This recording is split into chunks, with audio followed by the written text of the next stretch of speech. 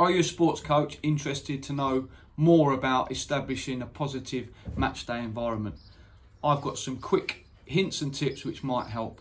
So on match day, I ensure I get on site at least 90 minutes before the game kicks off. And I'm going to use a football example. So I'll arrive at the ground, check the pitch, check that the pitch is all set up. Once I know that the pitch is all ready to go, I will then make sure that I lay out my warm-up. So get the cones out there, get the footballs out there, get all the bibs there. Once the pitch is established and set, I will then go into the changing room, um, lay out the matchday shirts on hangers. Then I would fold the shorts and the socks. Once the matchday kit is done, I would then have print out copies of the formation and the starting 11. I will place that on one wall. On another wall, I would establish and put up all of the set plays.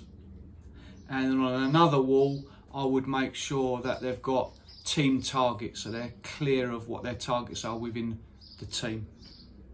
On the final wall, I would put up some motivational quotes and the players then arriving, parents then arriving, see that the pitch is set up, sets the standard, will then enter the dressing room and then the players would then come in and read the necessary information on the wall. They would then place their bags under the bench and find their matchday shirts. And it's clear, not too much talking. Set those standards.